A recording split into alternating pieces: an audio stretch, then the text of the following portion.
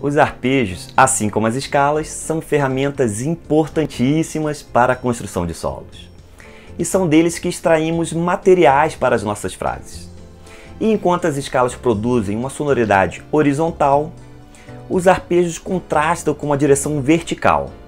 E o uso destes dois elementos traz um equilíbrio para que aquele solo não fique monótono e fatigante. Aquele improviso, sabe, com um monte de notas das escalas para lá e para cá.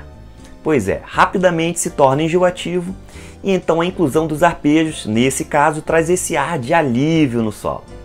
Outra vantagem em usar os arpejos é que ele só traz as notas boas, pois são as notas que ditam a harmonia. Então, menos chance de uma ou várias notinhas ali não soarem tão bem.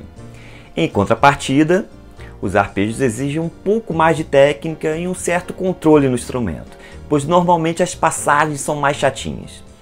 Então, nesse vídeo, vou trazer um solo em uma bossa nova totalmente feito com arpejos para exemplificar como eles podem ser usados em nossos improvisos. Mas antes, vamos ter aquela nossa preparação com alguns exercícios.